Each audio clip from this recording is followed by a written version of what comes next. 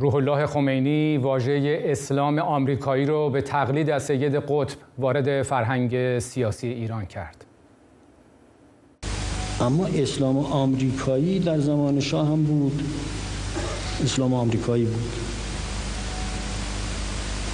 کسی حق نداشت دخالت در هیچ امری بکنند اسلام آمریکایی این بود که ملاها باید برن درسشون رو بکنن چیکار دارن به سیاست؟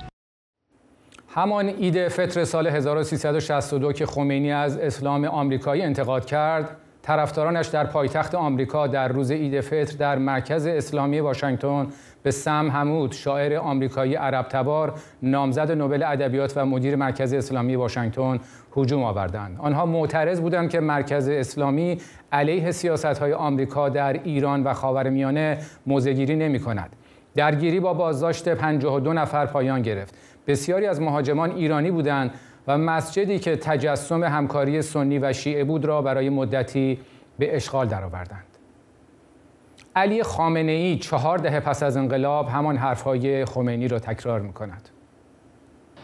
اسلام ناب در مقابل اسلام آمریکایی است اسلام آمریکایی هم دو شاخه دارد یک شاخه اسلام متحجر یک شاخه اسلام سکولار این اسلام آمریکایی است. امروز در ایران مردم نظر دیگری دارند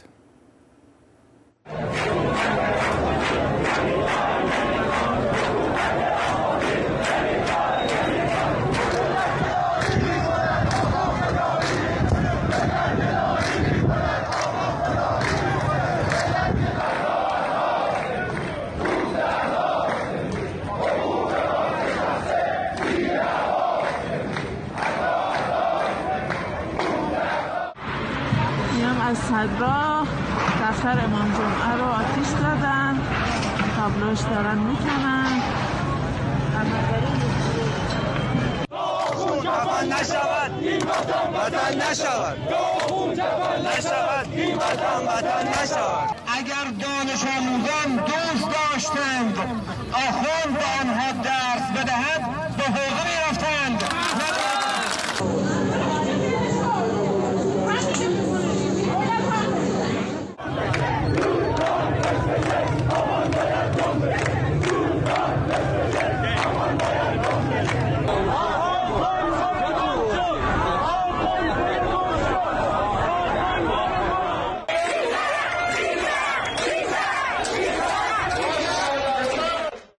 در توییتر و تلگرام از شما پرسیدیم. رهبر جمهوری اسلامی می‌گوید امروز گرایش مردم ایران به اسلام از اول انقلاب یقینا بیشتر است. موافقید؟ همطور که می‌بینید 92 درصد گفتند مخالف هستند.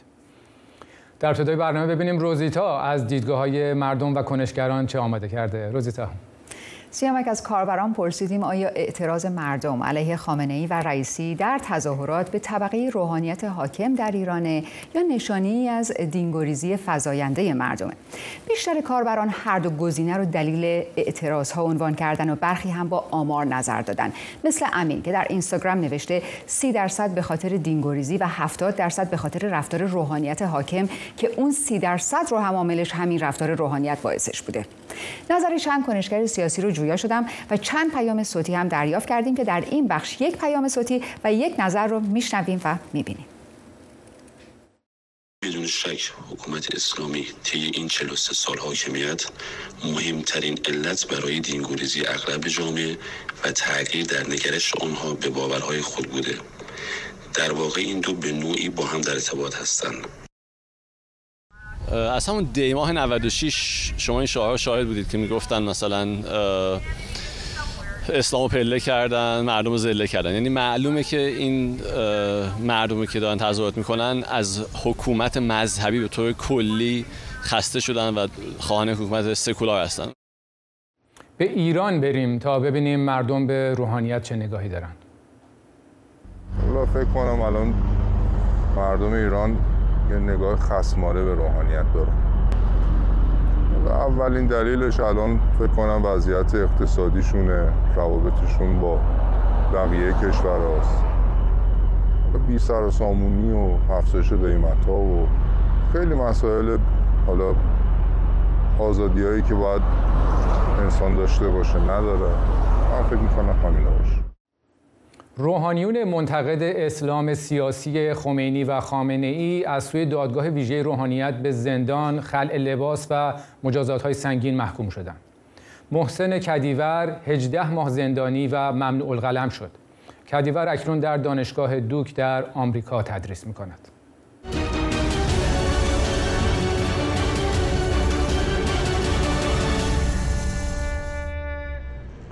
آقای خامنه همطور که در جریان هستید و می‌دونم یه پاسخی هم نوشتید در این صحبتاش اخیرا ادعا کرده که امروز گرایش مردم به دین از روز اول انقلاب یقینا بیشتر شده. شما در مصاحبه گفتید اونچه در ایران شاهد هستیم کاهش میزان دینداری نیست. اما تغییر نوع دینداری مردم به ویژه نسل‌های جوانتر غیر قابل انکاره. وقتی که تصاویری که از ایران میاد از اینکه مردم در نقاط مختلف ایران شعار میدن که توپ تانک فش بشه آخوند باید گم بشه حکومت آخوندی نمی‌خوایم نمی‌خوایم بعد تصاویر مثلا آتش زدن امامزاده ها رو می‌بینین حمله به این نهادهای مذهبی رو می‌بینید. به نظر شما این نشانه چه چیزی است در داخل ایران الان؟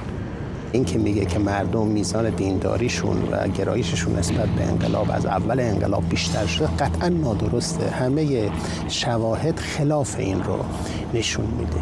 در حقیقت آقای خامنه ای آمده حساب طرفداری از خودش و نظام و انقلاب و رژیم رو با دین یکسان دونسته و من می‌خوام رو تفکیک بکنم.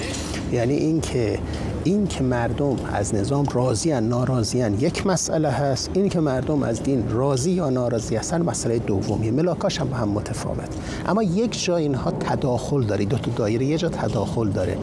و اون بحث اسلام حکومتی یا آخوند حکومتی هست. این می‌تونیم بگیم که اگر مردم اقبال یا ادباری نشون میدن این رو هم میشه به پای دین حکومتی نوشت هم به پای نظام نوشت. اینا دو تا با هم دیگه فرقی نمی‌کنن. اون وقت ایشون اگر مردم اقبالی به اسلام غیر حکومتی دارن اسلام مستقل از حکومت دارن این رو خرج می‌خواد بکنه به پای نظامش بنویسه که خب کام به حرف نادرستی. اون اعتراضاتی هم که اشاره می‌کنید حرف من انکار نمی کنم اعتراضات واقع شده. بالاخره عده از شهروندان ایرانی عصبانی هستند آسی هستند از دخالت حکومت به نام دین در زندگی خصوصیشون. حالا چه زن باشه چه مرد باشه و این رو به حساب اسلام می‌گذارن. حالا نادرسته که همه اسلام این نیست یا همه تلقی ها این نیست. اما در تلقی اونا فکر می‌کنه که با جایی که میره برخورد می‌کنه و آتیش می‌زنه یا شعار میده یا هر چیز دیگری این داره با اسلام حکومتی با خوند حکومتی با جمهوری اسلامی با استبداد دینی مخالفت می‌کنه. اگر ما یک مرکز مستقلی مصر پیو در ایران داشتیم می‌تونست به ما بگه آمار بگیره که در این آیتم ها فرض بکنید پیشرفت داشتیم یا پسرفت داشتیم. به نظر من حرف آقای خامنه‌ای مبتنی بر هیچ جامعه آماری نیست. اونی که من خودم بررسی کردم بر اساس هم تحقیقات دین پژوهی قبل از انقلاب هم بعد از انقلاب اونایی که دانشکده علوم اجتماعی دانشگاه تهران انجام داده اساتید علوم اجتماعی کردن. سوالایی که من خلاصش که به ذهنم هست خدمت شما عرض می‌کنم. کلا دینداری ایرانیان از زمانی که ما آمار داریم یعنی حدود 55 که در این زمینه مرحوم دکتر اسدی در اون کتاب صدایی که شنیده نشد اینها خلاصش آمده. بعد 85 و 95 هم اگر اشتباه نکنم 85 یاد قطعی است 95 احتمال قوی. همون سالا رو اومدن دوباره مطرح کردن با جامعه آماری درست. اکثر ببخشید این تحقیقاتی که از طرفین صورت می‌گیره چه حکومتیش چه اپوزیسیونش. من تو جامعه آماری و روش تحقیقشون گیر دارم مشکل دارم اینا میگن دینداری ایرانیان از حیث اعتقاد به خدا اعتقاد به آخرت اعتقاد به پیغمبر اینها تغییر چندانی نکرد. این شاخص های اصلی دینداری. بعد در مورد آداب دینی اینا اومدن تفکیک کردن نماز روزه نمی‌دونم نماز جماعت نماز جمعه حج یکی یکی. اونش که به ذهنم هست مثلا در مورد نماز میگه با شیب بسیار اندکی کاهش پیدا کرده تو این سی چهل ساله. درست خلاف نظر آقای خامنه‌ای. در مورد روزه و نمازهای جماعت و نماز جمعه میگه با شیب تندی کاهش پیدا کرده. آمارش هم دادن که من الان به ذهنم نیست. بعد در مقابلش میگه چیزی که افزایش پیدا کرده ازاداری هاست و رفتن به امامزاده هاست. که خب اینم می‌فهمیم که کلا مثلا بعد از انقلاب ما ده هزار تا امامزاده تأسیس شده داریم که من نمی‌دونیم از کجا آمده همین دقیقا همینطوری. یعنی اگر بخوایم پای آمار بیاد وسط دقیقا میشه گفت این که دینداری افزایش پیدا کرده فقط شاید تو مسئله ازاداری های عمومی و مسئله امامزاده ها باشه که آقای خامنه‌ای رو تایید می‌کنه بقیه یا مثل هم بوده یا مقداری کاهش داشته حالا کم یا زیاد کاهش داشته. صحبت از آقای خامنه‌ای شد. شون در صحبتاش جای دیگه اشاره کرده که این که گفته میشه مردم نسبت به روحانیت بی‌اعتقاد شدن 100 درصد غلط شما توی یک مصاحبه گفتید آخوندهای حکومتی در بالاترین برابر حدود 10 درصد فارغ التحصیلان حوزه علمیه رو تشکیل میدن و گفتید مادامی که از نظام جور جدا نشدن اونها رو باید به حاشیه روند. این افراد چند نفرن این 10 درصدی که میگید و چطور میشه اونها رو به حاشیه روند؟ طبق آماری که خود نظام داده در سال 1195 معاون روحانیت وزارت ارشاد یک آماری داده. ایشون گفته که مجموعا ما حدود 200 هزار روحانی داریم از ایرانی و خارجی. و از اینها 130 هزار تاشون مردن 60 هزار تاشون هم زن هستن 10 هزار تاشون هم گفته که غیر ایرانی هن. بنابراین اونی که مورد نظر بحث ماست اون طلاب مرد هستن که تمامشون به گفته این آقا 130 هزار تا میشه که 10 درصدش میشه 13 هزار تا یعنی ما الان در حقیقت داریم در حدود 10 12 هزار تا دیگه سقفش 13 هزار نفر بحث می‌کنیم که توی بسیج و نمایندگی ولی فقیه و قوه قضاییه و دفتر رهبری و اینجاها دارن فعالیت می‌کنن. در حقیقت 90 درصد این روحانیون حکومتی نیستن. به معنا که ارتزاقشون از نظام نیست و طریق دیگری دارن ارتزاق می‌کنن. مثلا چه طریقی؟ از طریق مردم. یعنی خمس و زکات می‌گیرن تبلیغات میرن یعنی روحانیون سنتی روحانیون سنتی. دیگه شغل حکومتی ندارن که بیان این بخوان دستشون جلو نظام دراز باشه.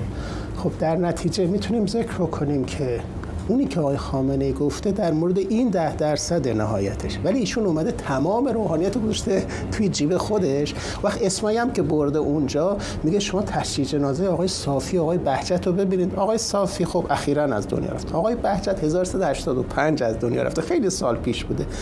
هیچ کدامشون هم حکومتی نبودن. آقای بهجت اصلا ولایت فقیه قبول نداشته. شاگرد آقای قروی اصفهانی بوده و اصلا منکر ولایت فقیه بوده. آقای صافی هم داماد آقای گلپایگانی بزرگ بوده و اصلا مستقل بود از آقای خمینی و بلا کشید کنار دبیر شورای نگهبان بود و آقای خمینی همچه راحت نبود باش خب حالا می‌خوام ذکر بکنیم که شما اونی که ایشون گفتن که همه روحانیون با ما هستند و یا مردم بیشتر بهشون اقبال کردن من یه آمار به شما میدم. خیلی راحت ملموسه. الان 11 دوره مجلس شورای اسلامی به اصطلاح داریم. دور اول 165 نمایندش روحانی بوده. یعنی بیش از نصف. یعنی اکثریت مجلس دوره اول روحانی بودن. الان 32 تاست.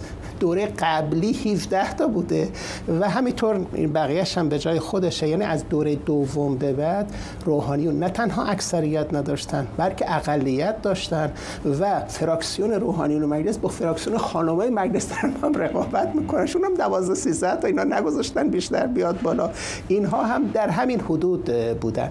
بنابراین اگر همین ها هم شورای نگهبان مهر چینی نمی کرد توی انتخابات واقعا آزاد شرکت می کردن همین هم رأی نمی آوردن. البته خودتون بهتر می‌دونید که مثلا ارکان اصلی قوه قضاییه ریاست جمهوری اینا به هر شکل در دست روحانیون بوده دیگه. بله بحث قوه قضاییه که در جمهوری اسلامی دست اینا بوده ارکانش. و قوای دیگه هم رئیس جمهور ریاست جمهوری نگاه کنید بیشترشون روحانی بودن اونها رو تایید می‌کردن. حالا بحثم سر اینه که چطور اینا به حاشیه برونیم میگم مثلا اینا به حاشیه رونده شدن. اگر انتخابات آزاد برگزار بشود هیچ کدام از این افراد که به میزان نزدیکشون به حکومت رأی نمی آورند.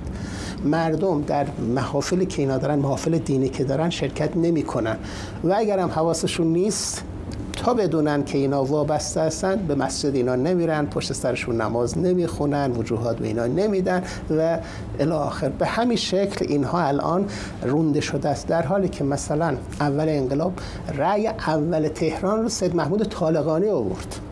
و هم چه رأی بالایی تو مجلس خبرگان قانون اساسی. از همه رأی بیشتری بود. همون دوره علی گلزاده غفوری. اینا روحانیون مردمی بودن. همون دوره آقای منتظری هم رأی بدی نیاورد. مجموعا اونقدر شناخته شده نبود ولی خب آقای طالقانی خیلی فرق می‌کرد. کاملا شناخته شده بود و مسئلهش به همین صورت بود که عرض کردم. بنابراین میشه میشه گفت که آقای خامنه‌ای اون چه گفتند بخشش رو وارون نمایی کردن بخشش هم کلا آمده روحانی سنتی رو به نام خودش مصادره کرده که هیچ ربطی به نظام و انقلاب نداره شما گفتید که روحانیون سنتی و نوسنتی در چارچوب انتظارات منطقی از دین که به گفته شما سیاسی نیست در خدمت جامعه هستن این انتظارات منطقی از دین چه هست؟ دور ماندن از سیاست منظوره؟ این که ما دنیامون رو چجوری بچرخونیم چجوری سیاست مداری کنیم؟ وضع حکومتمون چجوری باشه؟ اقتصاد چه شیوهی داشته باشه؟ مدیریتمون چگونه باشه؟ اینا امور عرفی هستند امور سکولار هستند و اصلا فرق فارق ما فرق فارق من با اندیشه مرحوم آقای خمینی دقیقا تو همین مسئله است که آیا انتظار اصلی ما از دین معنا بخشی به زندگی و این جور موارده؟ یا انتظار از دین اینه که به ما روش سیاسی و روش اقتصادی و روش مدیریت یاد بدیم. اگه ما همچه انتظاری نداشتیم من اسم اینا رو گذاشتم انتظار منطقی از دین الان هم اگر کسی بخواد سراغ حوزه های علمی بره برای اینکه سیاست چی است و اقتصاد چی است به نظر من اگه بخواد بره اونجا بیراه است اگه می‌خواد بره اونجا مناسک چجوری باشه آداب دینی چجوری برگزار بشه اینا کار حوزه های علمی است. اما اینکه سیاست چگونه باشه باید بریم سراغ سیاست مدار اقتصاد چگونه باشه باید بریم سراغ اقتصاددان. حتی مسئله حقوق چگونه باشه باید بریم سراغ حقوقدان. نسخه کامل مصاحبه رو در وبسایت صدای آمریکا می‌تونید ببینید. به نظرات مردم و بینندگان برگردیم با روزیتا یکی از کاربران تلگرام پرژین نوشته شعارها بیشتر به خاطر مخالفت با حاکمیت روحانیون و همفکرانشونه. ولی 95 درصد از مردم مخالف حاکمیت آخوندیان و در بین این 95 درصد حداقل 40 درصد از دین هم گریزانن این تجربه ای بوده که در سال 88 زمانی که نظامی بوده پرژین دریافت کرده و متوجه شده و قدرت مردم و ضعف و ترس نظام رو میگه از اتحاد ملت حس کردم و دیدم. یک پیام صوتی و یک نظر از کنشگر سیاسی رو هم برای این بخش آماده کردم. میشنویم و می‌بینیم. هم دینگوریزی و هم اینکه حکومت اسلامی قبول باشه دینگوریزی به دلیل اینکه افکار پوسیده ای دارن. مثل زن ستیزی، تنبیه خشن دینی، دخالت توی جزئیات زندگی مردم و از حکومتی هم دلیلش این همه اختلاس و دزدی و رشوه و این چیزاست. قانون هم که فقط واسه مردم اجرا میشه. اعتراض یعنی توهین به نظام اسلامی و آخرش هم زندان شلاق ادامه. این همه دلیل پس باید با این قانون وسطایی اسلامی مخالفت کرد.